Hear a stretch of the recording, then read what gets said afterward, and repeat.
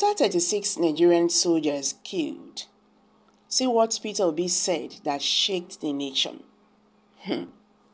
Welcome back to Prospect Channels TV. Thank you for always coming out here. If you are just joining us, please kindly subscribe and don't forget to give us a thumbs up. Thank you. Peter Obi reacts after shocking report of two pilots and two crew members among the 36 troops who lost their lives in the ambush and plane crash in the Niger State.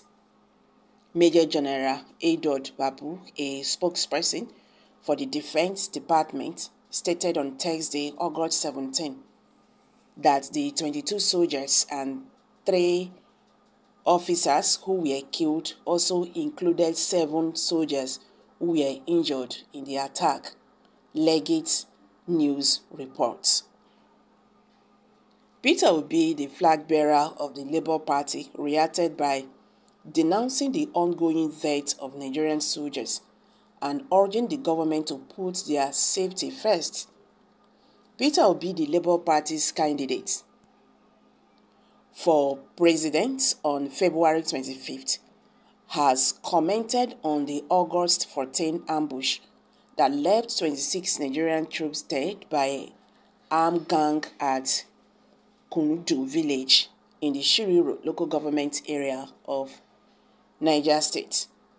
Obi expressed his profound sorrow over the terrible tragedy in a statement uploaded on his social media page on Thursday, August 17. And he encouraged the federal government, led by President Bola Tinubu, to take the necessary action as the struggle against insecurity in Nigeria continues. Peter Obi said, the report of the death of 36 soldiers who were killed in a terrorist ambush in Niger State is both devastating and depressing.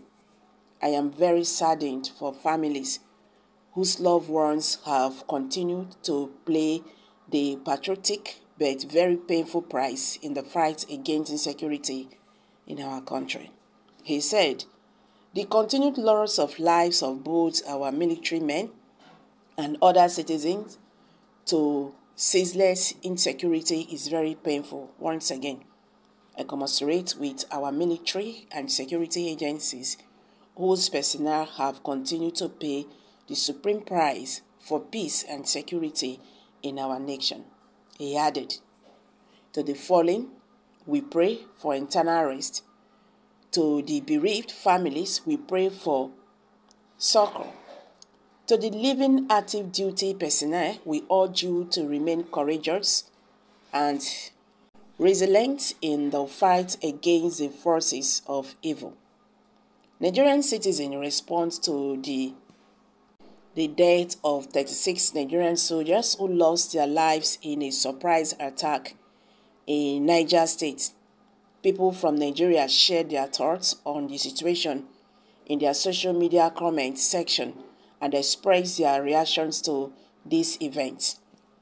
The first person I have here said, The media reported 22, so they are actually 36 soldiers this is so sad and demoralizing for their colleagues. 36 soldiers were killed and everyone is quiet. I think they are actually more than 36 that were killed. Oh.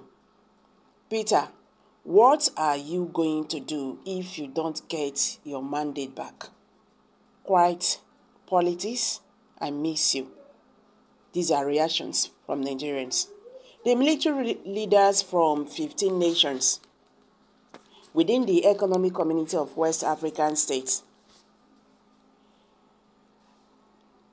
ECOWAS have indicated their willingness.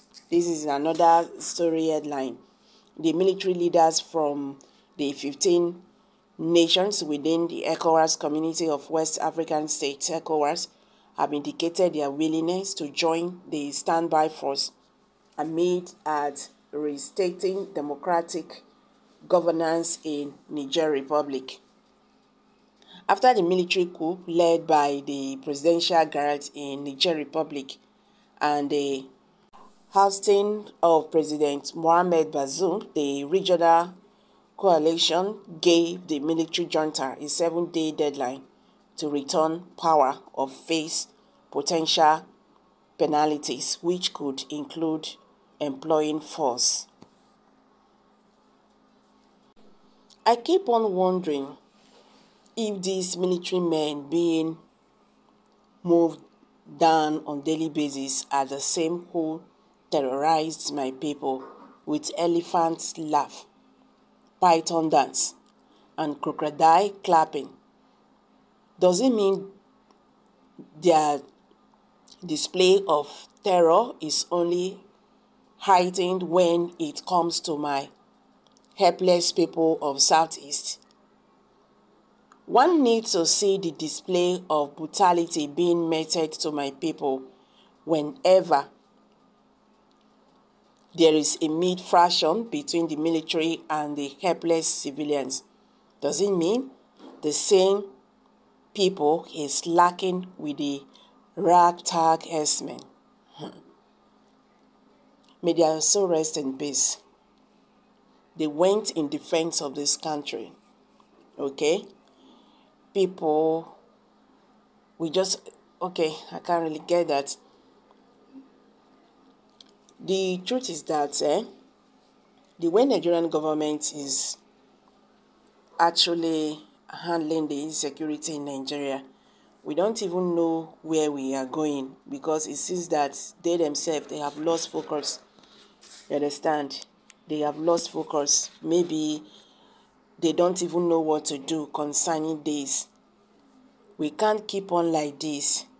We can't keep on like this. This is really very terrifying. So guys, I'm dropping it here. Kindly share your thoughts below the comment section, please. Do not forget to subscribe to this channel if you have not. Thank you.